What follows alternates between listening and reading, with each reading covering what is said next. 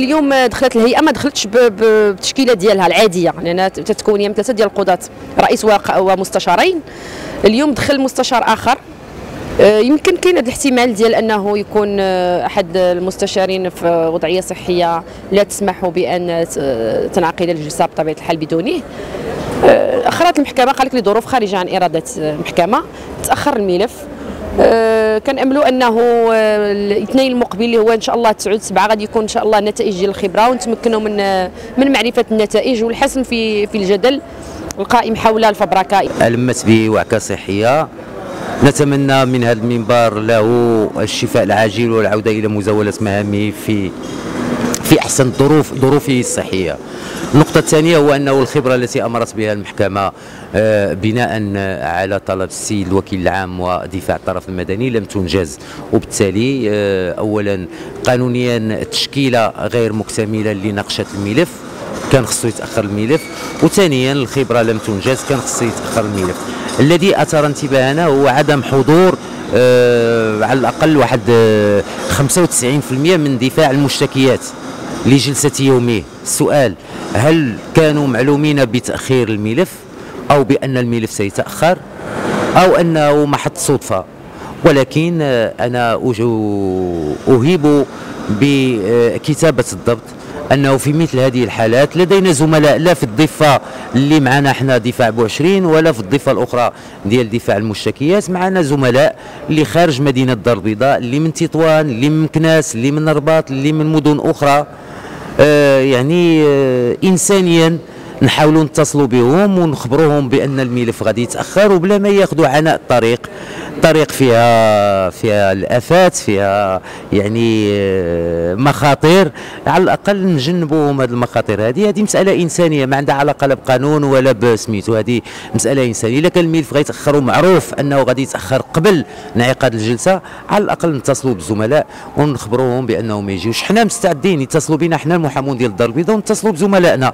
واخا يكونوا ديال الطرف المشتكيات أو الدفاع اللي معنا حنا كدفاع بوعشرين نتصلوا بهم. حنا زملاء في الأول والأخير ولكن يهمنا راحتهم تهمنا صحتهم تهمنا بزاف. المروري يقول بأن هيئة الرباط لم تحضر.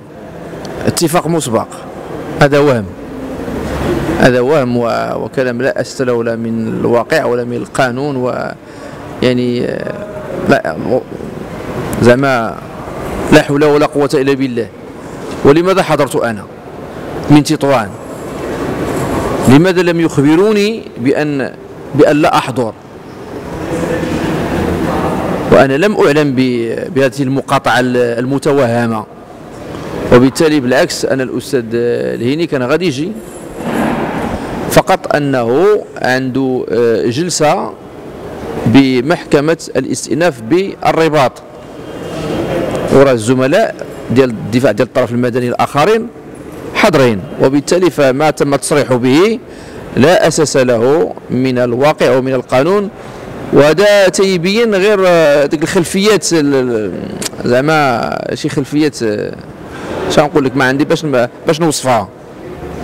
وبالتالي كنتمس من الزملاء أنهم يتوقفوا من هذه التصورات الفارغة. دابا أنا اسمح لي ما غنجاوبش على الهضره ديال الاستاذ زيان.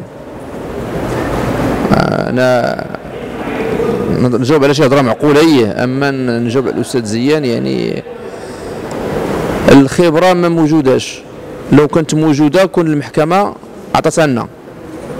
واخا ان احد اعضاء ديال الهيئة غير موجود. لأن هذا الإجراء لا يعتبر خرقا مسطريا في الحالة مثلا إلا غا فيها أحد الأعضاء لأن ما غنناقشوش.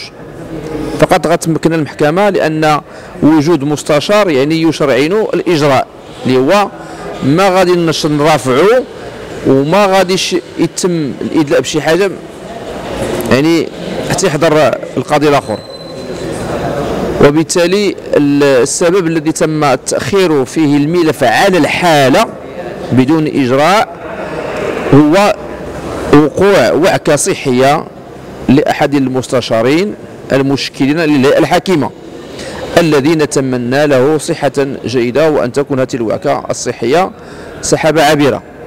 إذا هذا هو الأساس آه، القانوني الذي تم آه، بناء عليه تأخير الملف على الحالة.